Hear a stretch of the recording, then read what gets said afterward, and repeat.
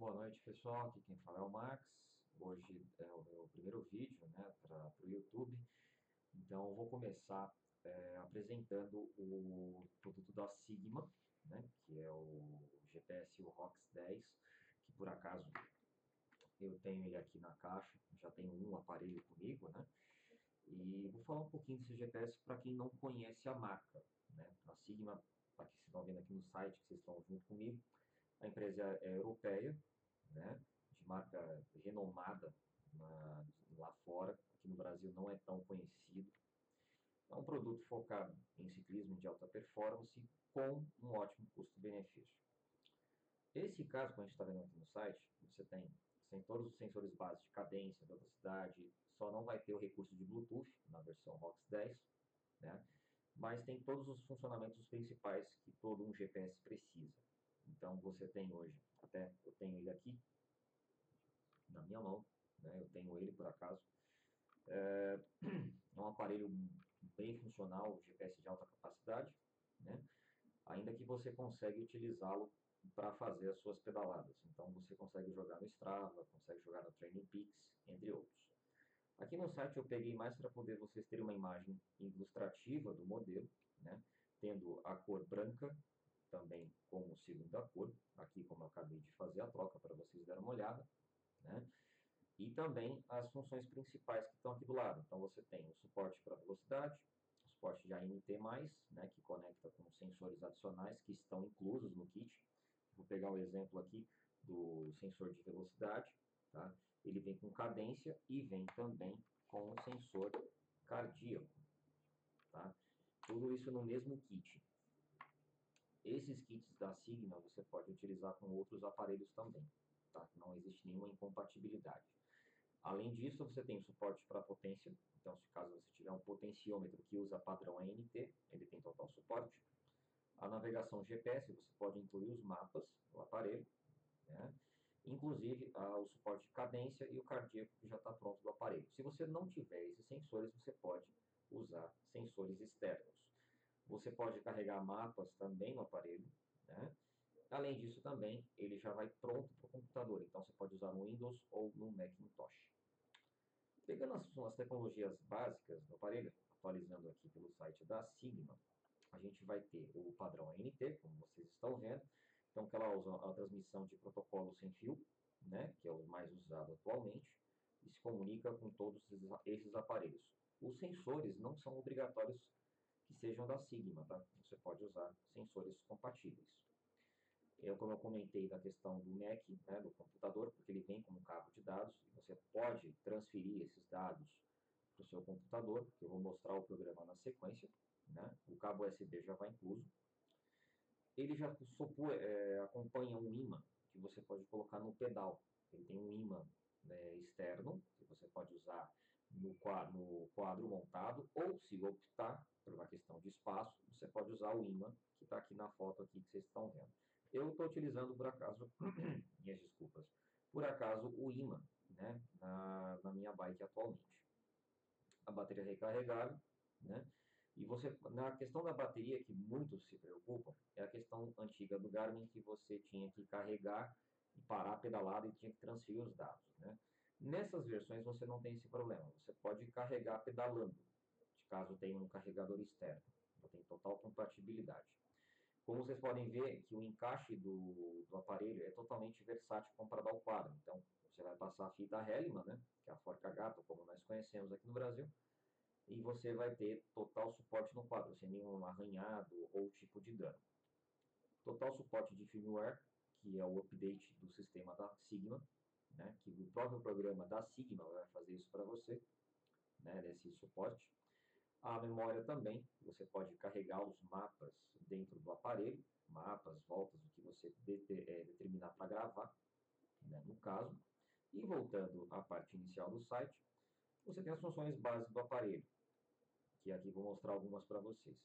Você tem o tempo, o tempo de pedalada, o dia, né, a temperatura, por exemplo, né, é, o total de todas as bikes pedaladas, porque você pode colocar até três bicicletas né, para poder pedalar, cadastrar, total das calorias de todas elas, a distância também.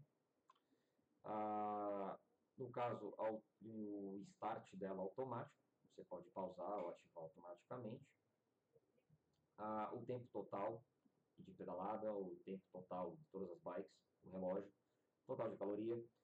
O total é um tempo estimado de pedalada, né, que você pedalou, a data, a velocidade média, comparações entre velocidade máxima, média e a velocidade atual, né, temperatura, né, que eu acho que é um item importante para muita gente que gosta de utilizar o aparelho, e algumas funções adicionais, né, de altimetria, cardíaca, cadência, volta, ah, tem a função do Strava também, que ele conecta via programa. Então, mostrando isso na prática, eu vou ligar o meu aqui. Então, vou mostrar de forma rápida para vocês poderem ver. Aqui está ele ligado, tá? Então, a gente vai utilizando aqui das, das setas laterais menores, vocês podem ver que aqui já muda para o modo de mapa, aqui ele já muda para memória, né, no, no caso do armazenamento, aqui ele muda para as informações do aparelho, né, o status, né, alguns extras, que são os adicionais que você pode fazer, e os ajustes. O aparelho ele é totalmente em outros idiomas, ele não possui idioma português. Tá? Isso é uma coisa da Sigma, mas a operação dele é muito fácil. Então, para mim poder acessar, por exemplo, aqui a função principal, basta eu apertar aqui do lado, no Enter, né, propriamente. E ele já está aqui, ó, prontinho. Como aqui eu uso o GPS, né, então a gente vai tentar localizar o GPS. Como vocês podem ver, ele está piscando aqui os três indicadores aqui em cima. Não sei se a câmera vai ajudar. Que você está vendo que está piscando o cardíaco, aqui na área superior, né, no caso. Aqui do lado, o de cadência e o de altimetria, caso estivesse pedalando. E aqui, marcando aqui embaixo, a, a distância no caso. Né? Para poder ver as demais funções, basta que eu aperte aqui. Olha, mostra o horário, a temperatura atual. Aqui seria uma altimetria do mapa, caso estivesse pedalando. Né? Aqui a, a parte de total de velocidade, né? a média, e assim por diante. Se eu mudar o modo, se eu quiser, por exemplo, ver outras funções, aqui no caso, nós temos a busca de satélite, no caso não tenho nenhum aqui. Né? Aqui seria o um mapa previamente carregado.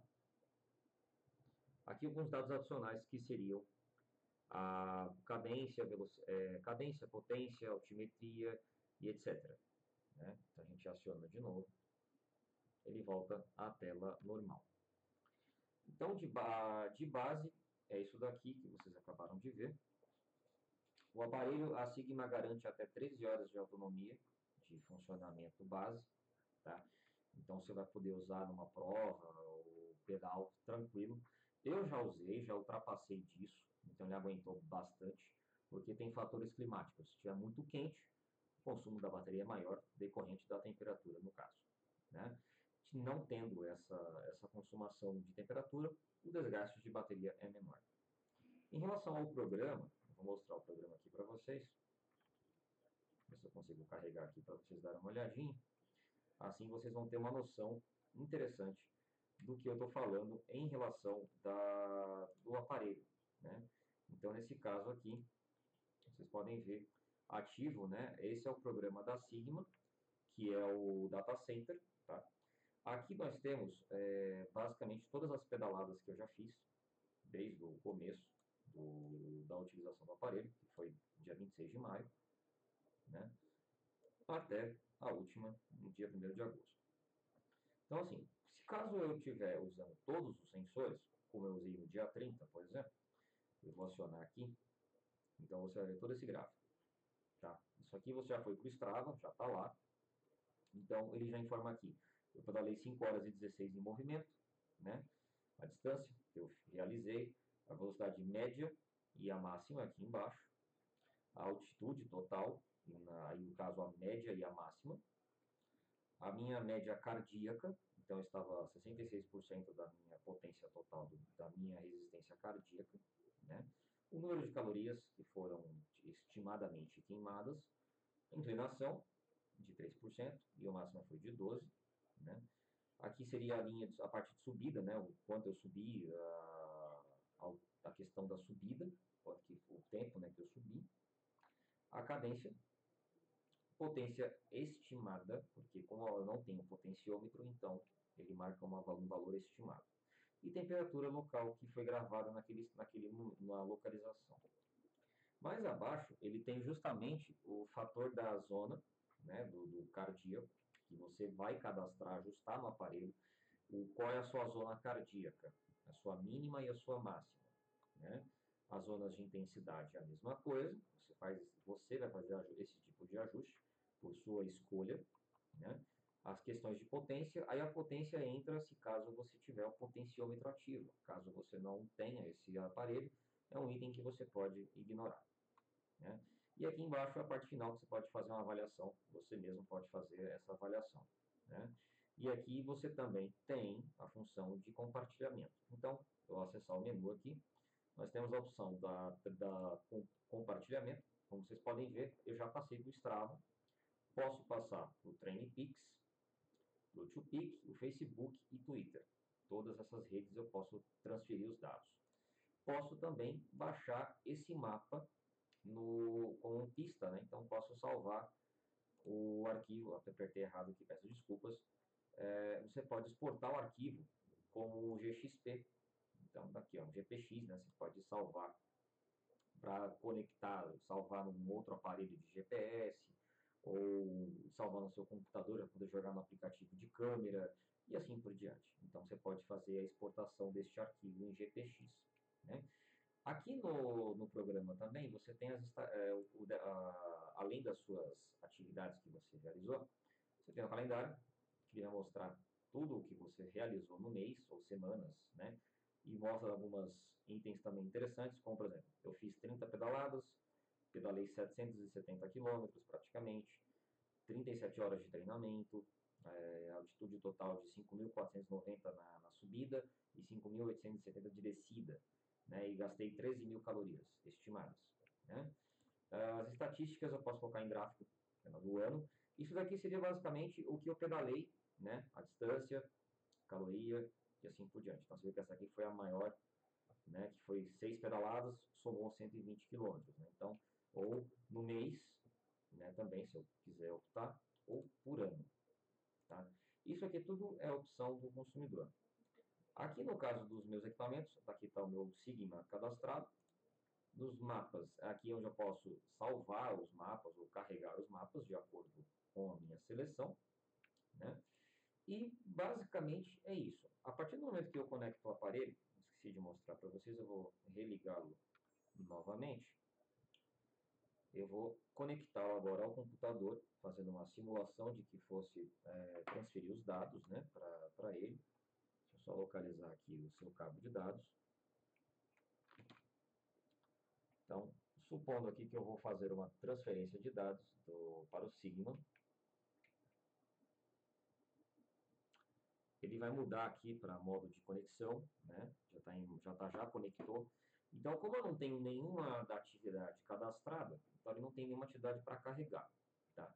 O meu firmware já está atualizado, que é a última versão, e aqui seriam ah, os usos que eu fiz ah, de treinamentos. Se eu quiser zerar isso daqui, eu posso zerar, porque elas já foram salvas aqui no programa. Então, eu posso clicar aqui e deletar esses dados. Isso são os, os treinamentos que foram previamente registrados. Tá?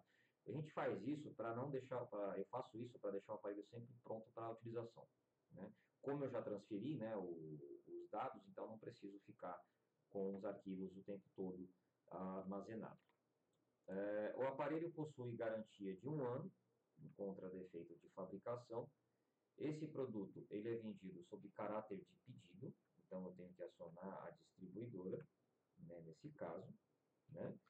E com isso você pode acionar, a, pode adicionar, não, desculpa, você pode adquirir aqui comigo pela loja esse produto eu recebi até uma semana útil, vindo da, da Sigma aqui do Brasil, da distribuidora oficial, e envio para o Brasil inteiro com nota fiscal e suporte de garantia.